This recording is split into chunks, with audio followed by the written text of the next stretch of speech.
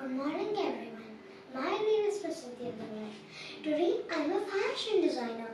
I love to design clothes, and sometimes I like to experiment new things. So, I would like to share with you some designs that I made. So, please welcome Anushka. She is wearing my new design. It is made of newspaper.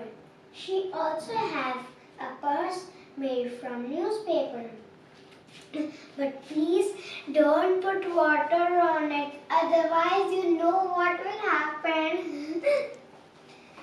now, please welcome Anna. She is wearing my new design. It is made of waste materials like a polythene, a rope, a chocolate cap, a rubber band, and a paper. To protect you from rain. Don't you know what it is? It is a rain gown.